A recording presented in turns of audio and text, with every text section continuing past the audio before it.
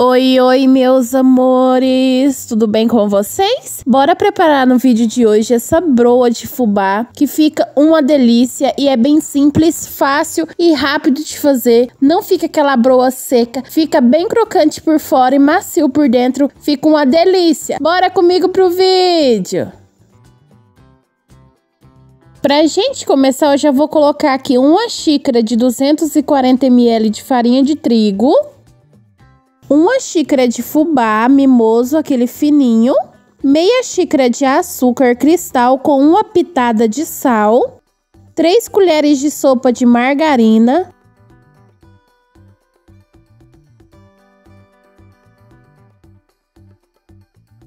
Erva doce a gosto, gente. Se você não gostar, não precisa pôr, mas ela dá um sabor muito especial nessa broa. Um ovo inteiro, Agora a gente já começa a misturar aqui tudo muito bem. A gente vai formar uma farofinha aqui.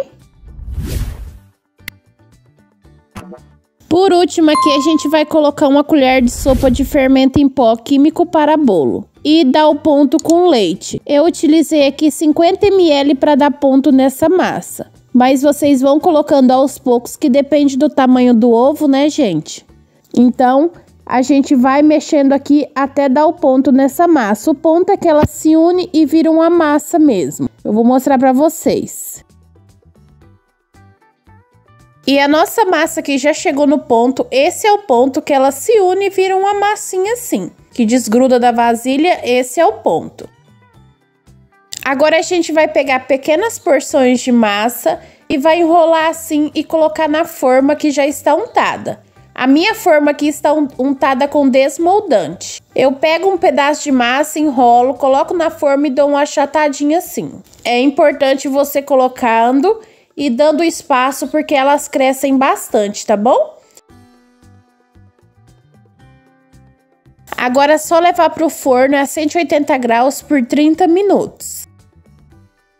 E as nossas broinhas já ficou pronta. O ponto que ela esteja boa é quando ela estiver assim bem moreninha por baixo. Ela não dora por cima, tá bom, gente? E ela fica bastante crocante por fora e macia por dentro. Gente, não fica aquela broa seca, sabe? Ela fica bem macia mesmo. Uma delícia para vocês estarem tomando com aquele cafezinho. E se você não tiver o desmoldante, gente, para é, untar a forma, né? Você pode untar com manteiga e ou margarina e farinha de trigo, tanto faz. E ela sai com bastante facilidade da forma. E é importante vocês da darem bastante espaço, né? De uma a outra, porque elas crescem bastante e aí elas grudam. Olha só.